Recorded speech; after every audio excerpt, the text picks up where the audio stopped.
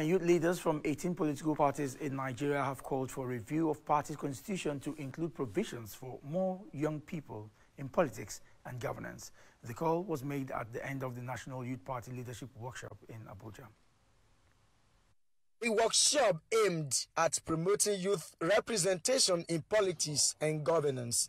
Notes the lack of implementation of the not too young to rule law as elder persons still dominate parties' candidacy in elections. And this is where we come in as the youth leaders of political party to ensure that because we know within our ranks uh, we have enough people within our ranks and fold that are qualified to aspire to any political office in Nigeria. And part of what we can do is to ensure from the party uh, structures that the platforms are such that the youth can vie. And because they are more in number and they can vie across board, then we have a larger number so we can have larger representation.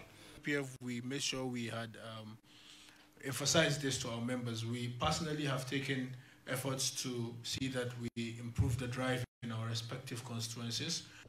Youth leaders from the 18 political parties want an urgent review of political parties' constitutions to provide for young people to meaningfully participate in politics and governance. Specific areas for focus for the workshop were resolutions, political party, one, youth mainstreaming through internal party democracy.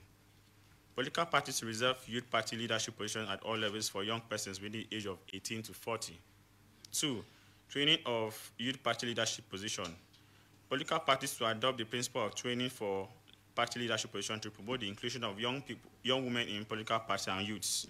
Three, deputization of party positions for youths. Political parties to the emergence of young persons to occupy deputy party leadership position to provide platform for mentorship and leadership positions. Four, nomination of young persons as candidates for local government elective positions. Political parties to streamline the nomination of elective positions at the local government levels for young persons. When it has gone through all the nitty-gritties and made a document for national policy, at the end of it, it's going to address all this naturally. The workshop was put together by the International Republican Institute and the National Endowment for Democracy ahead of the 2023 general elections. Ogie Ihimhekpen, AIT News, Abuja.